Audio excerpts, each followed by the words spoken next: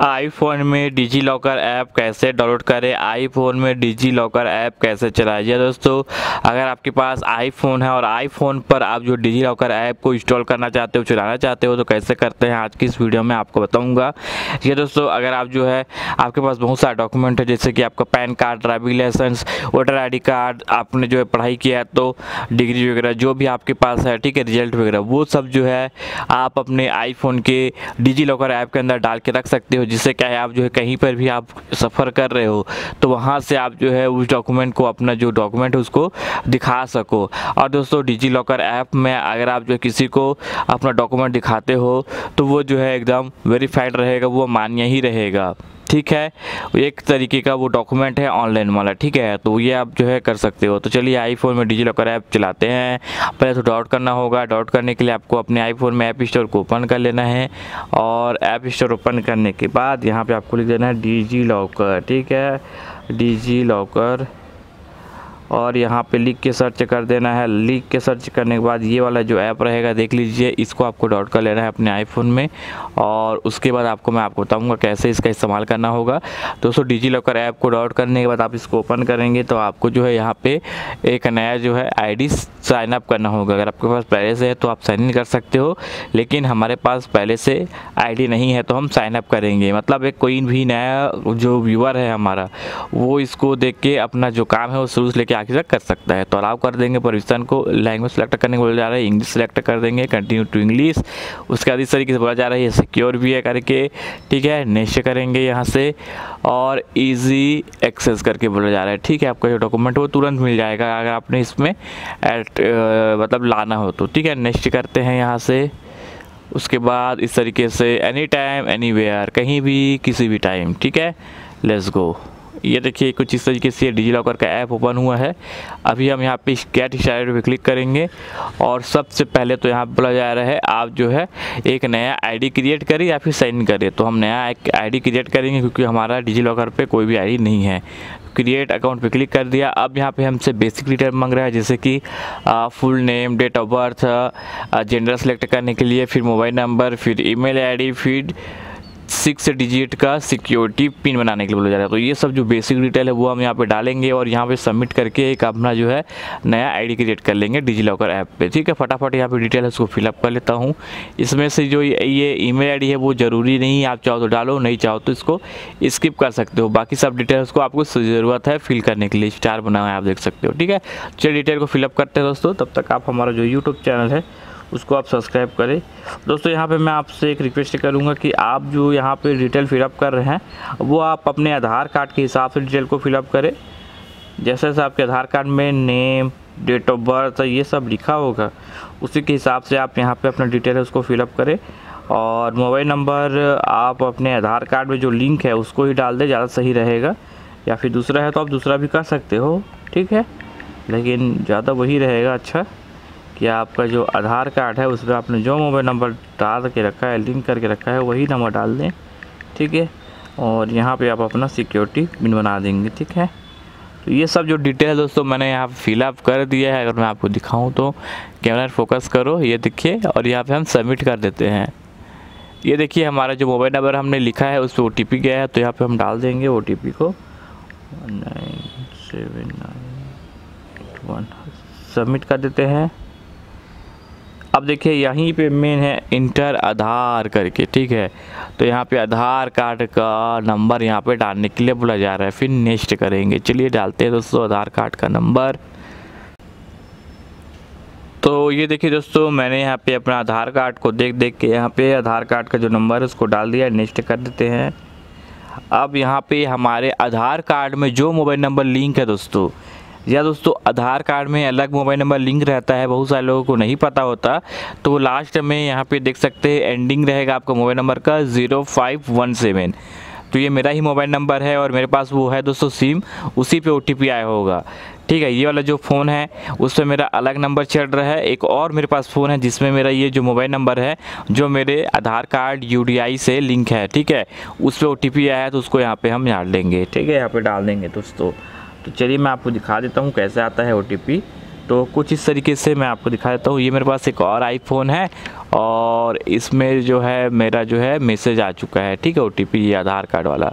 तो यहाँ पे मैं डाल दूँगा देख देख के, ठीक है, मेरे पहले वाले आईफोन पे, जो भी डिटेल यहाँ पे मांग रहे हैं उसको, ठीक है।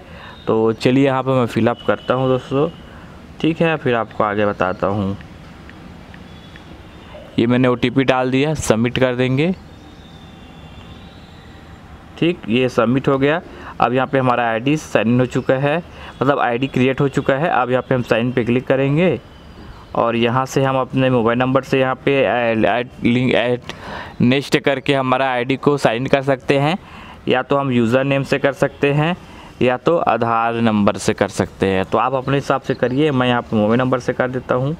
तो यहाँ पर मैं अपना मोबाइल नंबर डालूँगा। जो मैंने आ, अपना जो डिजी लॉकर ऐप जो है साइन इन करने के टाइम डाला था मोबाइल नंबर वो डालूँगा, ठीक है? नेक्स्ट करेंगे।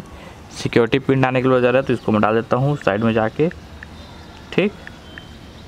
और यहाँ पे अब हम कर देंगे साइन इन कर देंगे, ठीक? तो ये बोला जा रहा है मोबाइल नंबर आधार और पिन ठीक है? तो यहाँ पे ये बोला जा रहा है, ये जो आप मोबाइल नंबर डाले हो, ये आप जो है, रुकिए, मैं फिर से करता हूँ। शायद आधार कार्ड वाला ही नंबर को यहाँ पे ये लेगा लग रहा है, ठीक है? तो चलिए ठीक है, कोई बात नहीं। हम अपना आधार कार्ड वाला मोबाइल नंबर को ही डाल देते हैं। ये हमने डाल दिया आधार कार्ड वाला मोबाइल नंबर दोस्तों, और इस बार करके देखते हैं क्या होता है। अब सिक्योरिटी पिन डालेंगे, जो हमने आईडी क्रिएट करने के टाइम डाला तो हुआ था। ये देखिए साइलेंट पे क्लिक कर देते हैं। ओके तो यहाँ से नहीं हो रहा है। चलिए हम जो है आधार कार्ड से करके देखते हैं वापस से। मैं जो है आधार कार्ड नंबर यहाँ पे डाल देता हूँ और उसके बाद साइन इन करता हूँ दोस्तों। तो आधार कार्ड का जो नंबर है वो डाल देता हूँ आधार कार्ड को देख के। ठीक है।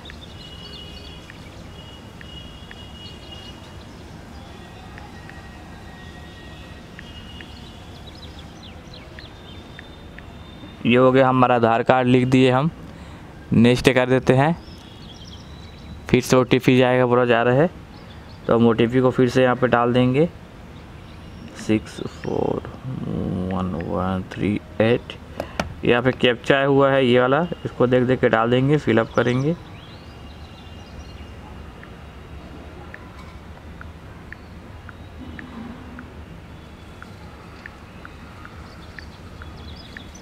ये देखिए, अब यहाँ पे कैप्चा लिखने के बाद यहाँ पे सबमिट पे क्लिक करेंगे। तो ये कैप्चा जो है यहाँ पे नहीं हुआ है। चलिए दोबारा से ये वाला कैप्चा लिख देते हैं। शायद पहले वाला कैप्चा हमसे गलती हो गया होगा, तभी यहाँ पे ये नहीं लिया है। ठीक है, कोई बात नहीं। और फिर से ओ को हम डाल देते हैं वापस से, जो हमारे मोबाइल नंबर पे आया हुआ है। ठीक है तो यहाँ पे हम देख के डाल देते हैं।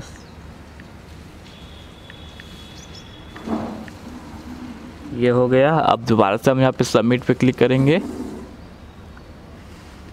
अब इस बार हो गया लग रहा है। उस बार कैप्चा कोड गलत डाल दिया था। ये देखिए, अब सिक्योरिटी पिन डालने के लिए बोला जा रहा है तो वो डाल देता हूँ छः अंक का। जो हमने जो है आईडी क्रिएट करने के टाइम बनाया हुआ था, डाला हुआ था। साइन अप करने के टाइम नेक्स्ट करते हैं मतलब सबमिट कर देंगे मतलब। ये देखिए सबमिट भी हमने कर दिया। ये देखिए फाइनली हमारा जो है जो हमारा डिजी लॉकर है, उस तरीके से आगे बता रहा है स्टेप। अब यहाँ पे A B C eco system करके बताया जा रहा है और यहाँ पे लेस गो करके क्लिक करके क्लिक करते हैं हम, ठीक है? तो यहाँ पे हमारा फिर से बेसिक डिटेल वगैरह है, ठीक है? तो यहाँ पे क्लिक करके देखते हैं क्या है। ओके। तो यहाँ से हम जो है डिटेल को फिलअप कर सकते हैं। चलिए इसको है, हम यहाँ पे अभी फ़िलहाल के लिए हटा देते हैं। और यहाँ पे आप देख सकते हो डिजी लॉकर जो है हमारा, इस तरीके से बता रहे हैं। वेलकम, रेवती रमन करके बताया जा रहा है, आधार कार्ड के नेम के हिसाब से। यहाँ पे हमारा फ़ोटो है, जो कि आधार कार्ड के टाइम का है। ये आप देख सकते हो, पुराना वाला फ़ोटो, ठीक है? तो ये सब हमारा आधार कार्ड के हिसाब से यहाँ पर आया हुआ है। ठीक है दोस्तों? अब यहाँ पर आपको बहुत सारे ऐप ऑप्शन वगैरह मिल जाएँगे, या सब देख सकते हो। तो यहाँ से आप जो है उसके बाद अपना जो भी डॉक्यूमेंट वगैरह है, वो सबको आप यहाँ पे ला सकते हो। उसके लिए आपको करना क्या है, मैं बता देता हूँ। यहाँ पे आप आ जाएँगे, आने के बाद आपको यहाँ पे डॉक्यूमेंट यू माइंड नीड करके लिखा हुआ है। यहाँ पे पैन वेरिफिकेशन रिकॉर्ड पे क्लिक करेंगे। तो ये देखिए, आपको इस तरीके से पैन कार्ड नंबर डालने के लिए बोला जा रहा है। फिर यहाँ पे गेट डॉक्यूमेंट पे क्लिक कर देना रहेगा। तो चलिए, यहाँ पर मैं जो अपना पैन कार्ड का नंबर डालता हूँ।